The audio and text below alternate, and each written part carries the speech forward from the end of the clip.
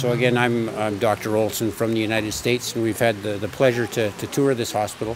Uh, most most impressed that uh, our, our athletes and our our, uh, our deputies will be uh, be well looked after here.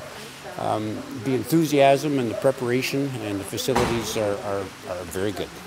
I have no uh, no hesitation in reassuring um, my delegation and a number of the other nations are, will be looking forward to hearing our report as well that uh, yeah, this this is going to be a great place.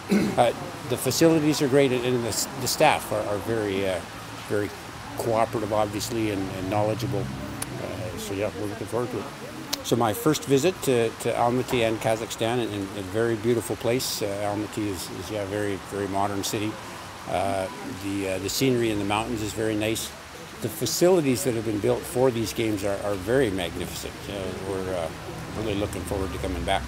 And uh, as my colleague has mentioned, a lot of times when we get this close to the games, there's still lots of things that need to be done. Uh, but Almaty is well prepared. We're, uh, we're going home being very confident. These are going to be great games.